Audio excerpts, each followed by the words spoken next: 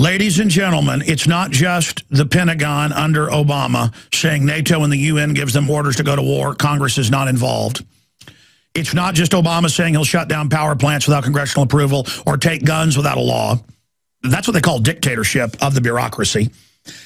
The TSA is telling Congress they will not follow subpoenas and that they are not under congressional oversight when Congress created the TSA in 2001, October.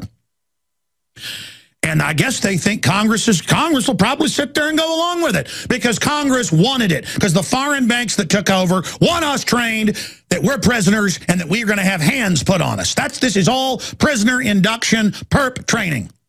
This is the biggest TSA news I've ever seen. Look at this. TSA claims it is above congressional oversight. Agency head refuses to appear at transportation hearing.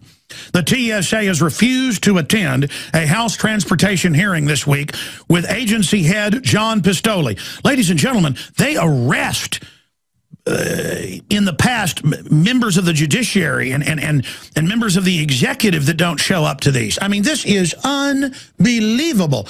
Karl Rove had to run out of the U.S. to avoid one of these. Said he was on a month-long business trip. Remember that five years ago?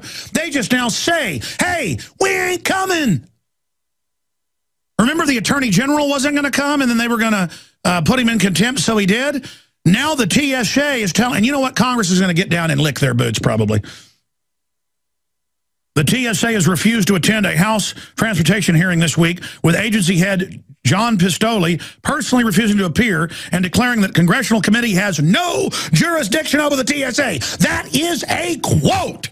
Man, that is dictatorship. This government is officially illegitimate. Whoa. And you know he's been told that by Obama and by Big Sis. Man, they are going for broke, ladies and gentlemen. Do you realize how much trouble we're in?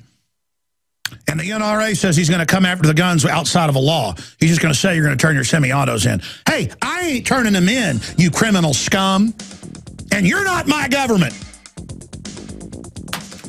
I mean, do people understand this? This is not hyperbole. This is a lawless group of criminals. Congress needs to arrest them all and impeach Obama right now. I'm sick of it. They are, folks, if we put up with this, we'll put up with anything. We're going under dictatorship. The presidency's run by a bunch of foreign banks, and I want my country back right now. I want these tyrants.